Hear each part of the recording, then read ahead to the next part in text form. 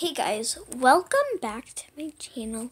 If you guys haven't gone see my other videos, if you turn your phone, if your phone is like this, turn it this way, and then go down, press that subscribe button, make it gray, because we like gray, because that's the best. and click that notification bell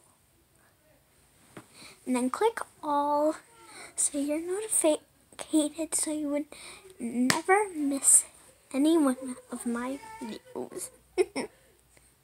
so, if you guys didn't know this, today in math class, I was on a meeting because of this COVID stuff, and my my teacher told me that like pi is a number. It's really a number, you guys.